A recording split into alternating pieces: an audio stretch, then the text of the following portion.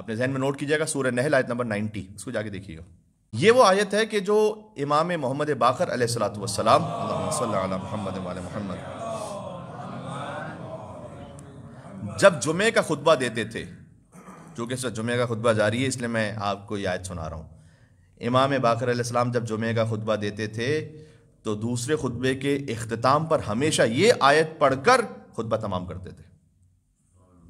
अब ज़ाहिर है बनी उमैया का अख्ताम तो उस वक्त और बनी अब्बास आ रहे थे। तो पाँचवें इमाम और छठे इमाम के ज़माने में कदर इम्कान ज़्यादा था कि वो तबलीग फरमा सकें।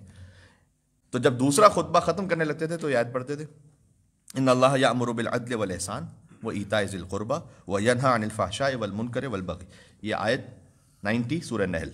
यादकुम लाकुम तदक करूँ यकीन अल्लाह हुक्म देता है तुम्हें अदल का, एहसान का, कराबतदारों से सिल रहम का। तीन इसमें अमर है, तीन नहीं है। अल्लाह यकीन तुम्हें हुक्म देता है, अदल, एहसान और सिल रहमी का। अदल अमीर अमीरमिन ने फरमाया अल अदल वल इंसाफ।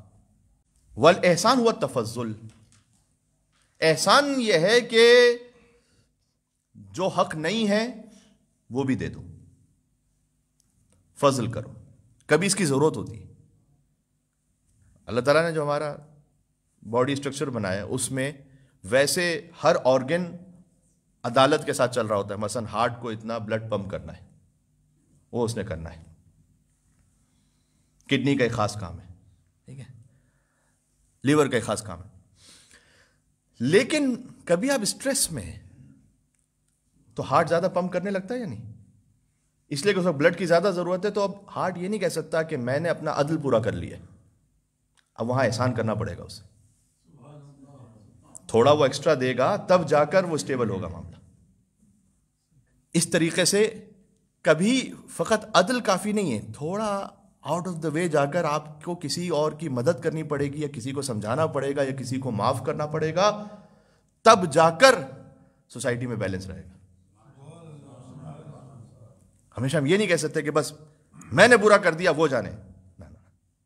अल्लाह ताला ने कहा है कि देखो, तुम्हें हम अदल का भी हुक्म देते हैं, जहाँ ज़रूरत हो, एहसान का हुक्म देते हैं। सुबहान अल्लाह। जब ये आयत नाजिल हुई थी ना तो वलीद इबन मुगैरा ने कहा था कि ये अल्लाह के अलावा किसी और का कलाम हो नहीं सकता। हाजल कलाम यालू वाला यो ये वो कलाम है कि जो इतना बुलंद है कि इससे बुलंद कोई कलाम मुमकिन नहीं है। ये वो मुशरकिन समझ रहे थे। ईमान चाहे ना लेकर आए, लेकिन समझ रहे थे।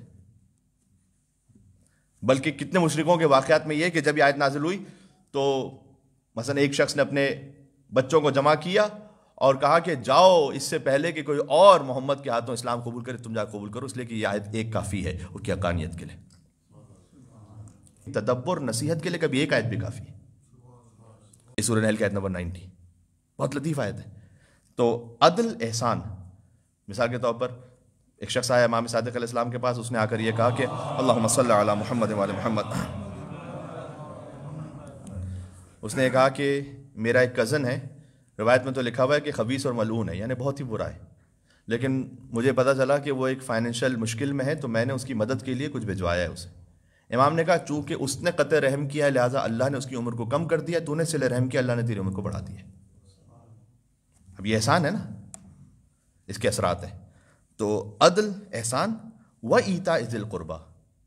और फिर कराबत दारों के लिए अलग से कहा, एहसान सबके साथ है। लेकिन सिले रहमी फिर कराबत दारों के साथ है। उनका और हक है।